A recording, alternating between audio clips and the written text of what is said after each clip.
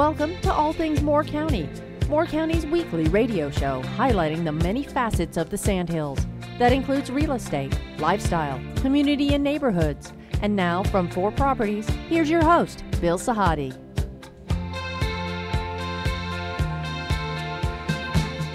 Good morning and welcome to the uh, talk show, All Things Moore County. Um, here we are, smack in the middle of summer, um, which is, and you know, things have sort of quieted down a little bit here in Moore County. Um, they'll pick up again very quickly as school starts um, getting back into session. But, um, Dorothy, it's a good time for us to um, reflect on some of the shows we've done this year, and especially some of the shows we've done since Memorial Day. Yes. Um, They've had a theme. with what? Yes, they have. we've had a we've had a bunch of shows that have been related to, you know, one of the nets that Moore County provides its citizens. Um, in this case, we have focused on the afterlife for a lot of the our military families and citizens who have decided to make Moore County home. And we've got a chance to witness um, firsthand. We had Michael Parker on from Terrace Ridge Farm uh, with Nick Sala, and they were talking about um, their meetings with the county commissioners, um, about restricting residential development outside the city limits of Carthage. Um, we've had Bob Milligan and Colonel Walter um, Havenstein on talking about coaching and working and mentoring with um, uh, military personnel who are transitionalizing into civilian life.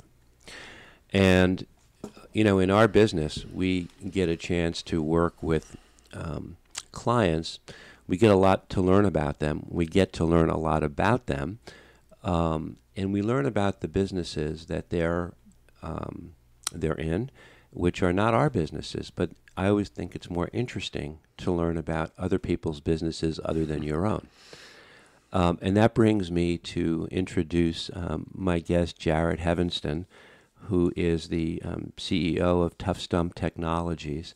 Um, Jared is, I've had the privilege to know him now for over a year and a half, and I've had a chance to um, observe him. We, um, he was on a quest as a retired military to purchase some land and um, and he did um, after looking at a lot of different types of properties for tough stump technologies, which we're going to talk about.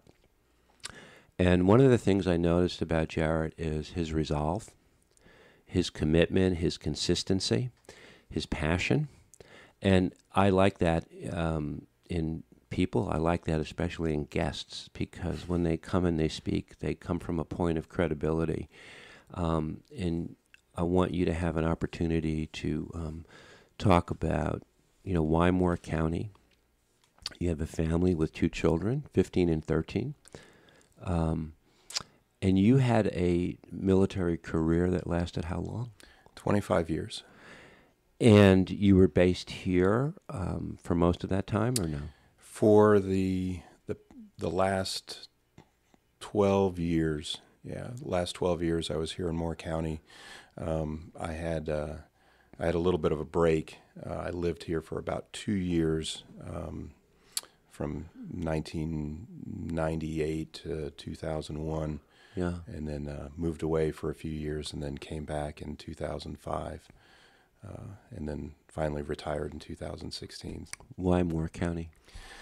Um, of course, there's the, the military assignment that, that brings you here, um, and and really kept me here. I was very fortunate to be able to to stay here for as long as I did. But then, Yeah. when it came time to retire, my wife and I had, you know, we had, we knew that we weren't moving anywhere else. It was, we were going to stay, um, and because we love it here. Uh, the fact that you know on any given you know on any given day a 30 minute trip can end up being a two hour trip just because you go into uh, you know the hardware store and you see somebody you know and start talking and then you, Right. you're at the supermarket It's incestuous. so yeah, so um, you know the the friend network uh, that we have established here is is absolutely wonderful, Right. and and uh, yeah, I mean it is it is home.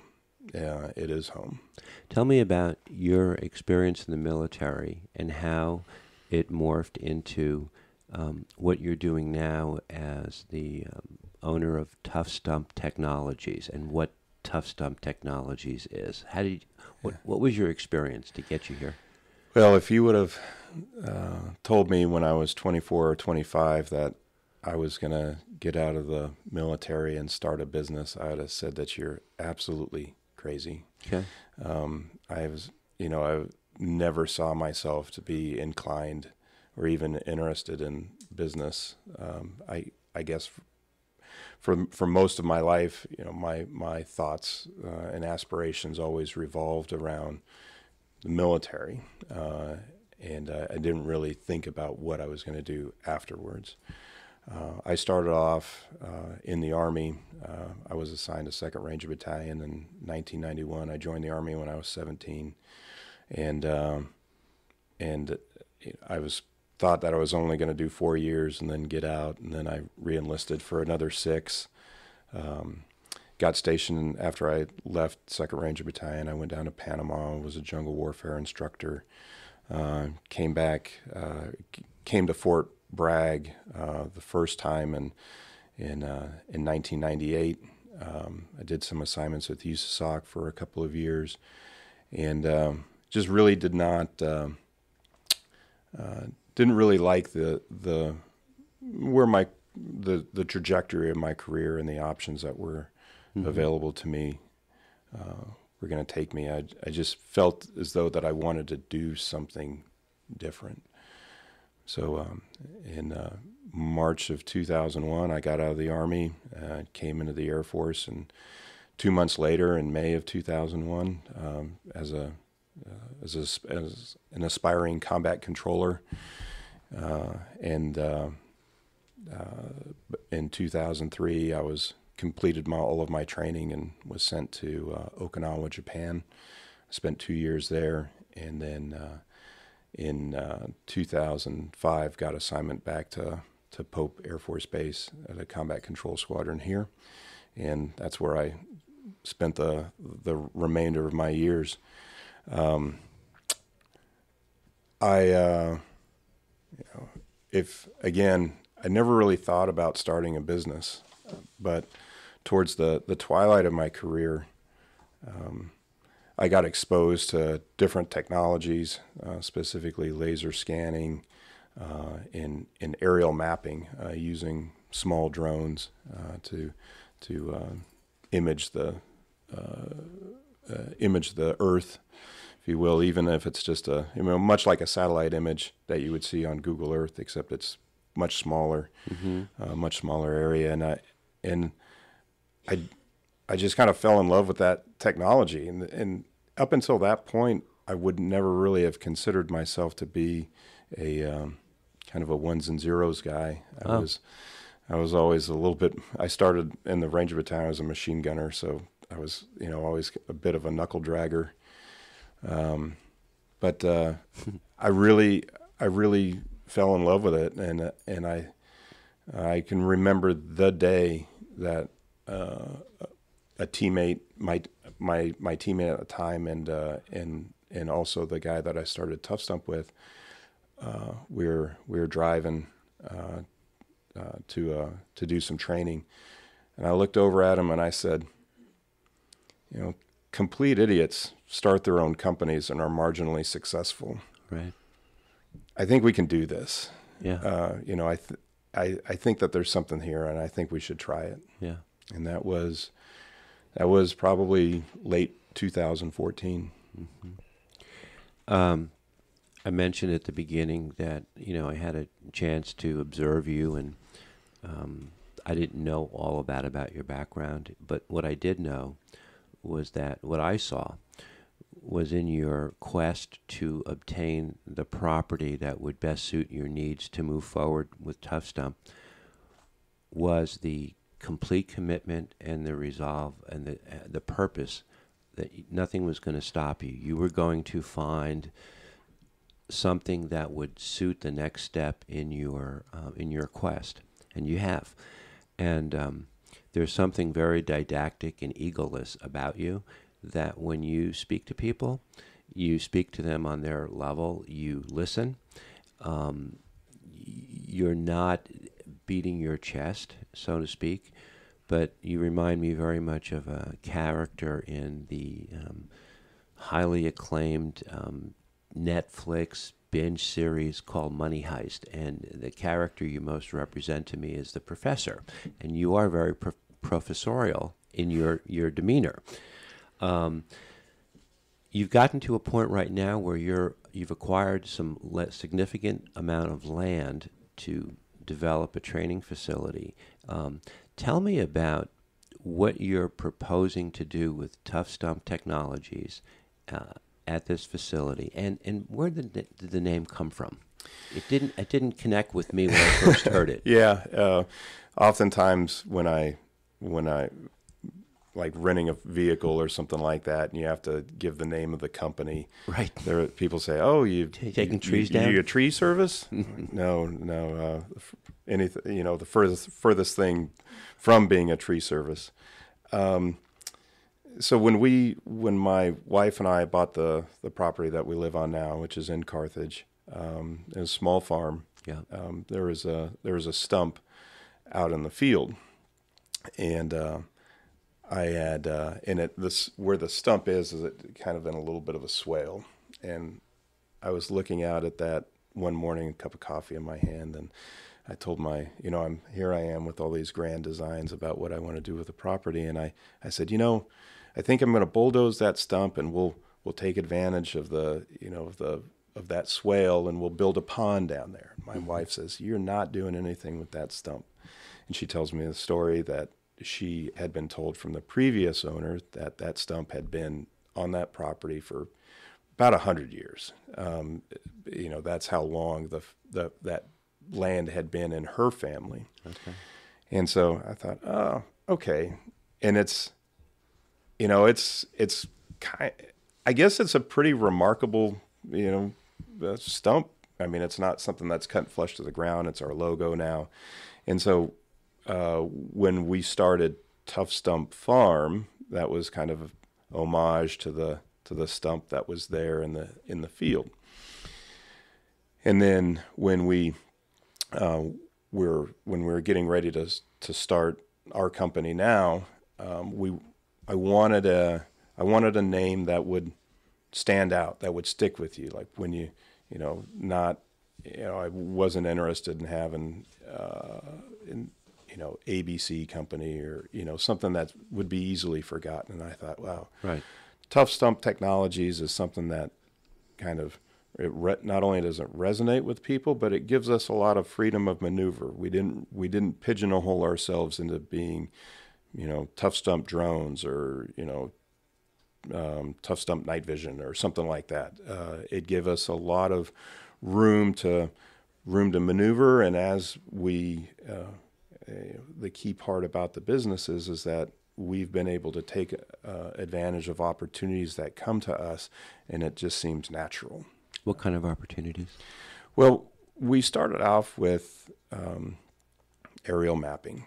Um, that was the first thing that we thought we could really um, we could really fill a gap. We could really solve a problem there uh, because for the you know the, being in the in the military, I think that there's this Hollywood really uh, uh, presents the the military and the operations that they that we conduct in a light that says, man, we've got all this you know all this intelligence and all this fabulous imagery and full motion video and, and you know everything's just streaming into these blue iridescent blue rooms out in the middle of of Iraq or Syria or Afghanistan and that's not the case. Um, you know, th- there's um, oftentimes you're we're working off of products that are imagery products that are old, and you just can't get the um, the ability to get the information from the satellite to the, the, the guy in the sandbag bunker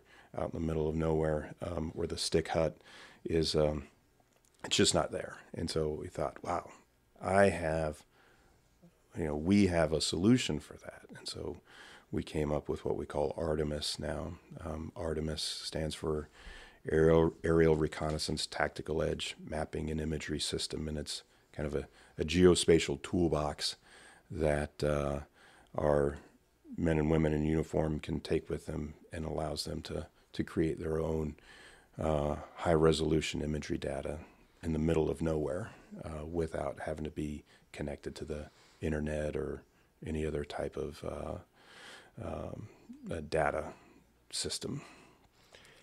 Creating this imagery and provide, letting it uh, help them provide for for better um, visuals. To what end? Um, make better decisions, um, help them mitigate risk, um, you know, apportion forces uh, um, uh, appropriately. Um, you know, there's been we've we've had use cases. I mean, obviously, there's people that say, "Well, you use it for targeting," and mm-hmm. okay, you know, that's that's one way. Uh, but these these bases that people build out there, I mean, sometimes there's um, they just kind of like pop up overnight, and you don't really have the a good image of of what your base is like in the middle of Africa and what's around you. Um, but even recently, um, people have been using it for, for negotiating land use agreements overseas, mm-hmm. um, you know, predicting um, floods, um, uh, uh, camps for the uh, for displaced persons, um, you know, refugees and things like that. That you know, hey, we we need some some better data in order to plan for long term housing of of people. So and disaster relief. Yeah, disaster relief. Um, yeah. Uh, so not just military. It, exactly. It has applications to a yeah. whole host of um, purposes. Yeah, yeah, exactly. I'm working with Department of Homeland Security in some cases, or sorry, not Department of Homeland Security, but uh, um, uh, FEMA yep. Uh, for yes for for mapping floods. Uh, Better than Google Earth. Uh, more effective than, more updated than. Oh, um, so Google Earth usually gives us, a, when you look at a picture on Google Earth, it's about 30 centimeters. So um, it, let's just say that an, a pixel on Google Earth is roughly the size of your sign back uh, in the back of the room there. So okay. um, 30 centimeters, about 10 inches. Um, and then uh, our our resolution is is much more granular than that. It's about one inch per pixel. So we're orders of magnitude better in, in clarity and uh, in, in elevation. So not only are we getting a picture of the Earth, but we're getting a three dimensional image of the Earth. So um, we started Tough Stump uh, with that with that aerial mapping in mind, and then we just began to uh, we began to look at the ecosystem and identify other things that were a natural fit for that. So um, it's been um, that has allowed us to to um, work with other government uh, off the shelf uh, software systems such as uh, the Team Awareness Kit, which or the Tactical Assault Kit, depending upon if you're civilian or military. Right. Uh, that allows us uh, people in the field to have increased situational awareness on a smart device where they and their team members are located and they can share information digitally. And all of this is designed to um, uh, enable folks to make decision, better decisions based on on better information right. uh, that they've got at the at the literally in the palm of their hand.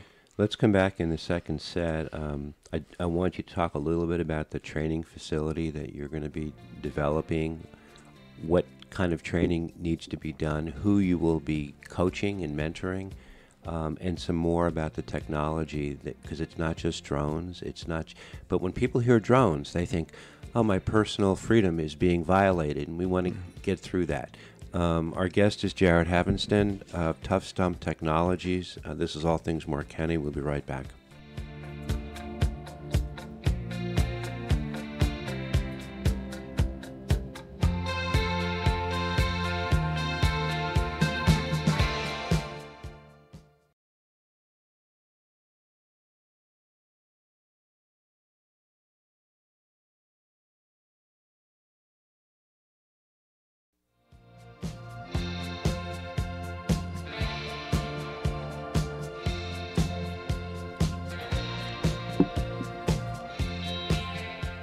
Welcome back to our second set of All Things Moore County, talking um, um, with Jared Havenston, um, Tough Stump Technologies.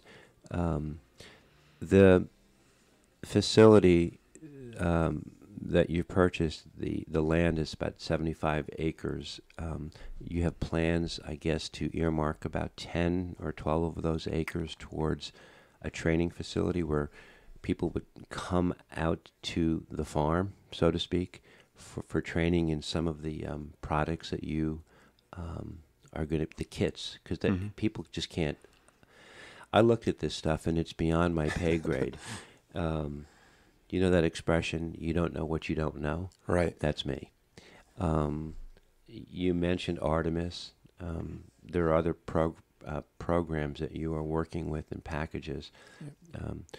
What do you envision um, at the facility when you're 15, 18 months down the road from now? Well, so we, we purchased 75 acres. Uh, we're currently going through the process to rezone about nine of that uh, for uh, conditional business use. Right.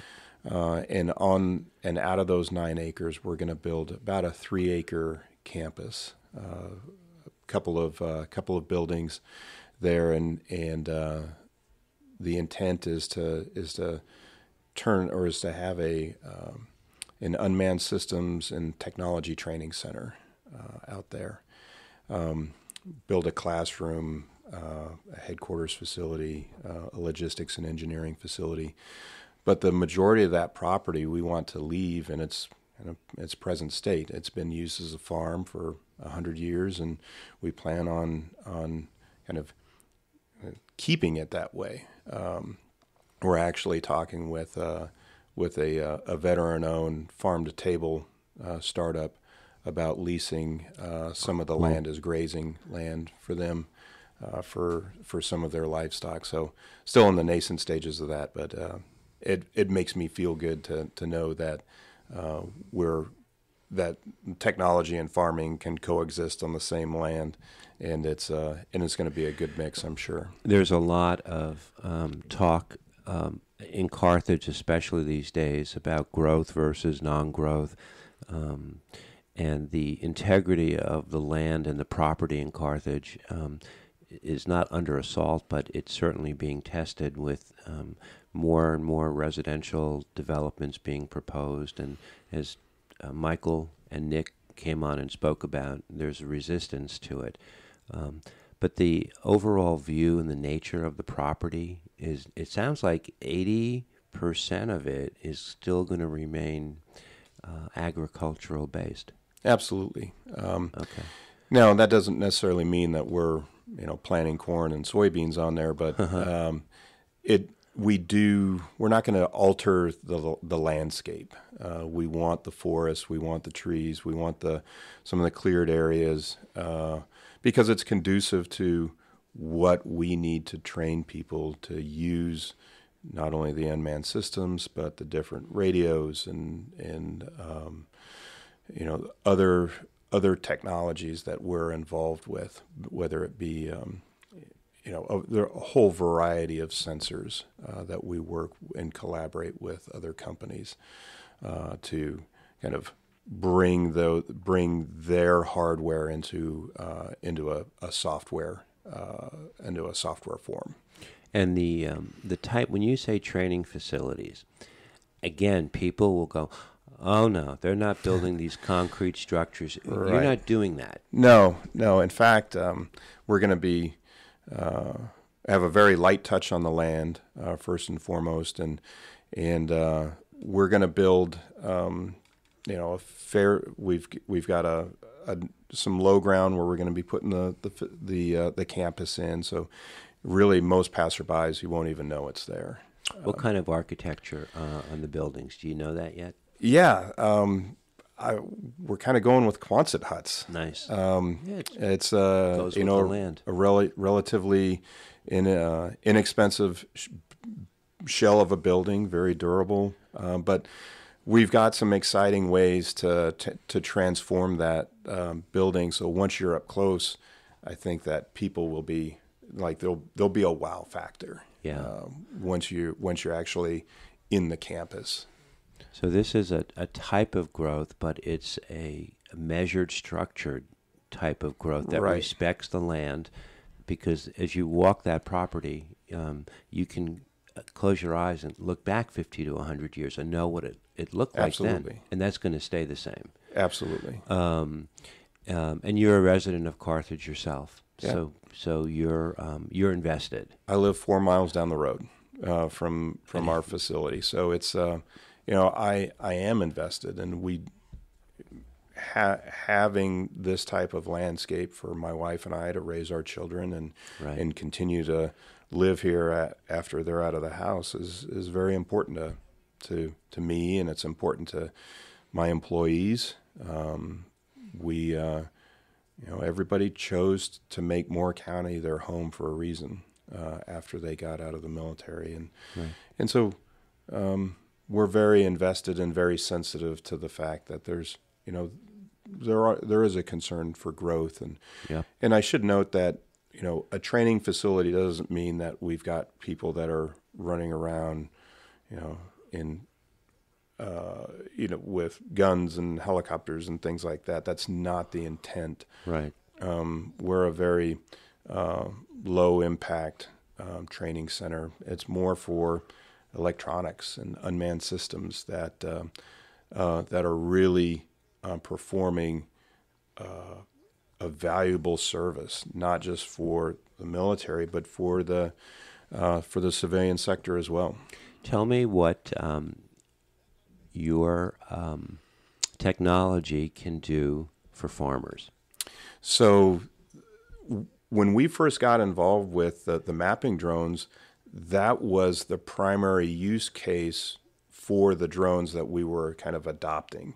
Uh, they fly with a multispectral camera that allows them to measure the chlorophyll reflectivity in plants, which basically, you know, even though corn looks green to you and me, uh, these type of cameras can identify where they're where that corn is unhealthy. It's invisible to the na- naked eye. Wow. Uh, so those multispectral cameras, when they're part of a precision farming plan, uh, can help uh, farmers identify where they need more water, um, more pesticide, more fungicide, more fertilizer. Um, all of that is uh, has to be uh, determined by the farmer actually going out there and looking at the corn.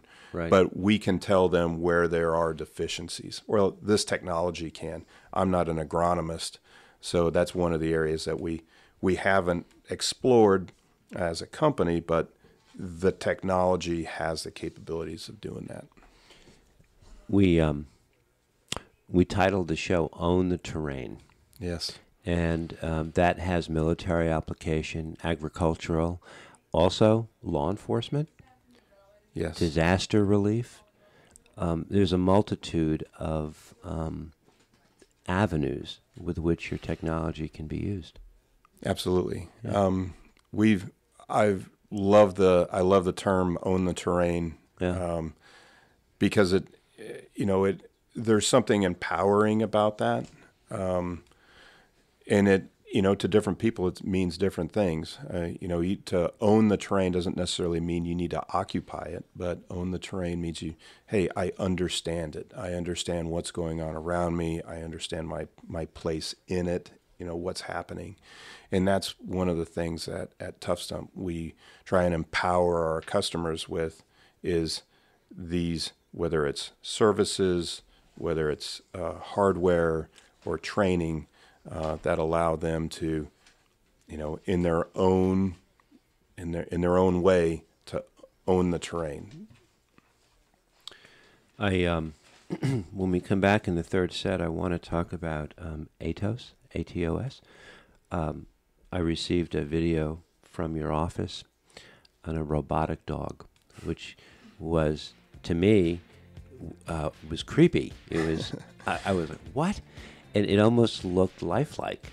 Yeah. Um, um, there's so many little things we want to talk about. Um, let's come back in the third set. Uh, Jared Havenston is our guest from Tough Stump Technologies. Um, own the terrain. We'll be right back.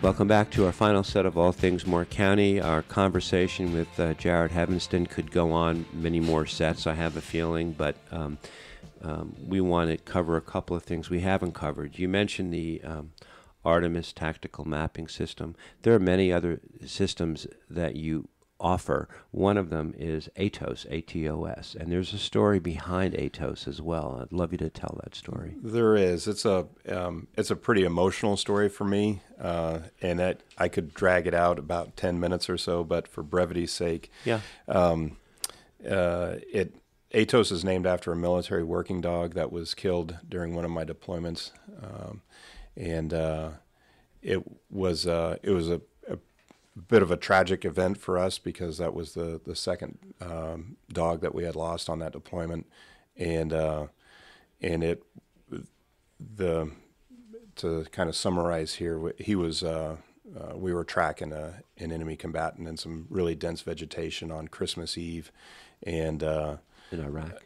In Iraq, yeah, and uh, it was um, uh, you know confusing, um, a lot of you know the the vegetation was very thick. We lost contact with with not only people within our, our team, but also the dog itself, and mm-hmm. and uh, uh, uh, it ended up that the dog um, and four of my team members were blown up.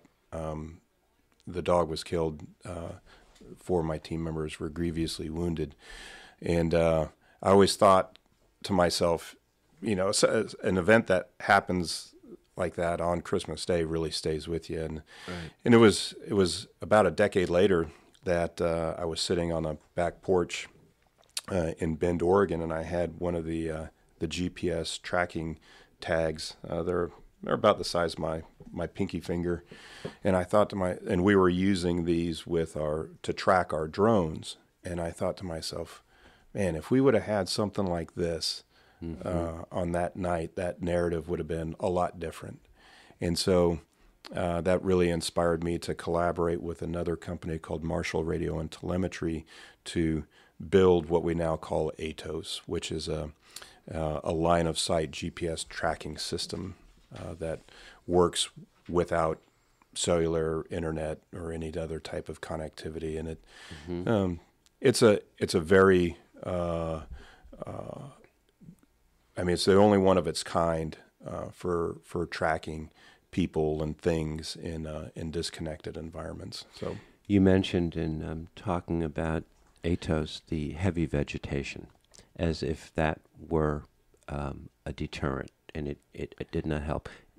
You also have um, a video out um, talking about the importance, the lava beds. Yes. The terrain matters, I guess, is what we're saying. Yeah, absolutely. Yeah, for the uh, for our lava beds video, uh, we're working uh, with a, a, uh, production company called Bowstring uh, to uh, do a documentary about the the Modoc Indian War that happened in 1872 and 1873, and the the desire is to illuminate the how important the terrain was uh, to the outcome of that battle and how it enabled a small the small band of Modoc Indians of about 50 to 75 warriors to uh, to decisively defeat the U.S. Army in two defensive engagements, and you know the the U.S. Army outnumbered them 10, 20 to one at times. Details matter. yeah, yeah. Lava uh, beds are are rough on. They're not, they're they're painful. Oh yeah, yeah. It, when you uh, we'll have a we'll have a what they call the sizzle reel coming out in a, in a few more days, and you know it's it's just I mean it's it's one of the most in, beautiful yet most inhospitable environments you can imagine. Yeah. Um, how long has Tough Stump Technologies been in, um, a company? We are going into our seventh year. Our uh, we started in 2015, but that first year uh, I was still in the process of retirement, and we were kind of figuring out what we did as a company. Okay. So. Uh, I got the impression. Uh, so you're at the press. You're at the beginning of the next chapter, uh, right in front of you.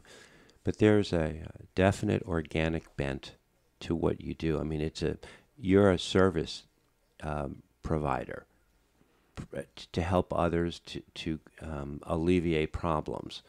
Um, you- you're not out there selling uh, high luxury ve- uh, vehicles. Uh, it's not about.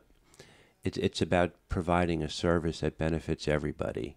Providing a solution. Okay. Yeah, providing a solution it, that A, oftentimes a better solution. Yeah, oftentimes it comes as a service, um, but uh, I've I tell our I tell all the people I work with that you know we give the white glove treatment.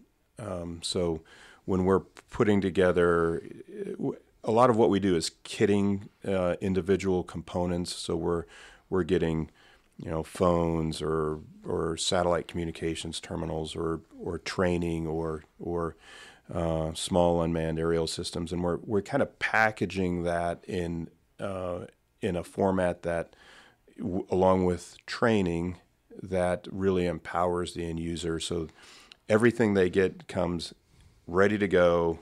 I mean, they just pull out of the box, turn it on, and and and that's uh, and then they're they're off to do their mission. So whatever that mission might be. Proficiency, expediency, Yeah. uh, expertise, Yeah, the proficiency. mastering. Yeah, the proficiency is the big thing because you know time is one thing that you can't buy, uh, and oftentimes when when when folks have a new piece of technology, um, be it a radio or uh, a UAV, for example, they that's a that's a high value asset, and and you they we want them to to get the most out of that asset without without damaging it. Right. I've had a chance uh, to meet some of your uh, team members. You've got about 14 or 15 employees. Um, they all s- seem to share the same commitment that you do, the philosophy. Y- you're all very low key, um, and but purposeful at the same time, and, and there's a presence. Um, how do you recruit the people you have, and um, what litmus test do you um, do you apply uh, before they become part of Tough Stump? So early on, we were I was pretty lucky because I was able to cherry pick a lot of the people that I had worked with uh, previously, um, and they formed the foundation of of Tough Stump. Um, as the as the company has, you know, grown, uh, uh, you know, little by little every year, um, we've had the luxury of having very qualified people just walk into the door, and and some of that has uh, some of that has has happened um, from uh, just folks kind of off the street, um, but a lot of it has uh, has uh, come about through our um, internship program.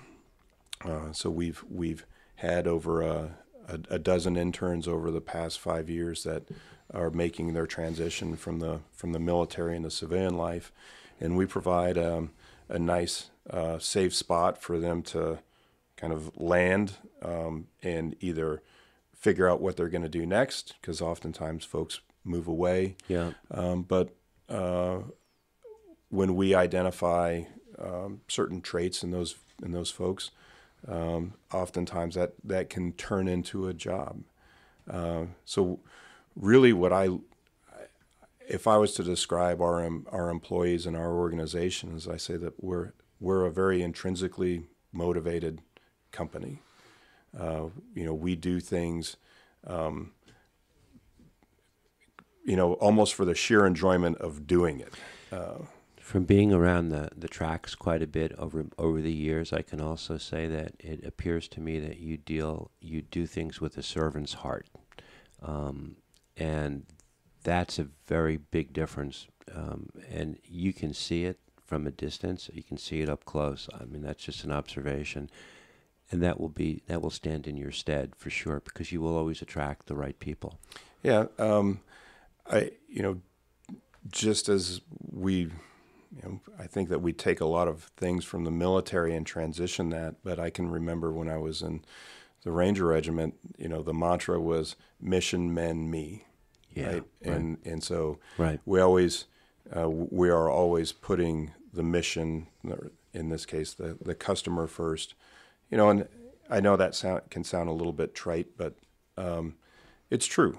Uh, it really is true, and and I'm very very proud of of of our folks and and uh, you know they they do things that continue to amaze me every day. Right. And Yeah, the upside is terrific. I mean, the uh, you're entering a new chapter, and it's exciting, um, and you want to keep the integrity in place as you go and, and grow intelligently. Um, you, we really didn't get much of a chance to speak about the um, the videos that I, I received of the robotic dog, but that was not creepy, but unsettling. Um, but it looked so lifelike. Yeah, the uh, we're very fortunate to uh, have struck up a um, kind of a value-added reseller arrangement with Ghost Robotics and uh, what they call the QUGV or a quadruped unmanned ground vehicle. So it's a it looks like a dog. Yes, it Uh, This is a but it's a it's a very ruggedized robot. Um, I mean, it can swim.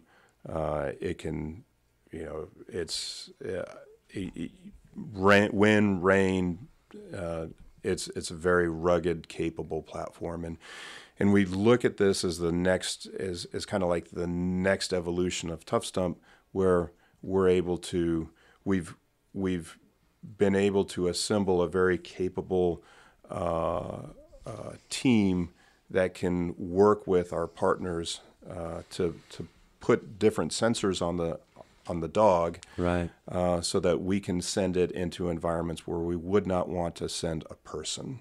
A very hostile environment. And I'm not necessarily saying that there's people shooting at you, but it could be contamination, it could be uh, uh, radioactive, it could be, uh, you know, just foul, right? And you don't want to put a, a person in there to assess to assess damage, to assess assess infrastructure. So, really excited about the dog and all the possibilities that it brings. Yeah.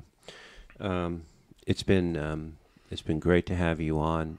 Looking forward to this. Um, uh, I like people who are committed and purposeful, and you fit that bill 100%. Um, and I, I wish you all the success with your new um, the new project you have in front of you. Um, and I hope that people in Carthage um, welcome you with open arms because you are respecting the environment and you are and you're respecting the place where you live with your family. Um, people can go to your website, uh, toughstump.com, if they want to look at some more information and some detailed information about what you do. Um, and I hope we get a chance to uh, maybe have you back on the show down the road um, when you're in a different place. That'd be wonderful. Thank you, Bill. Jared, thank you for joining us. Um, and everybody, thanks for listening. This is All Things Moore County. Have a great week.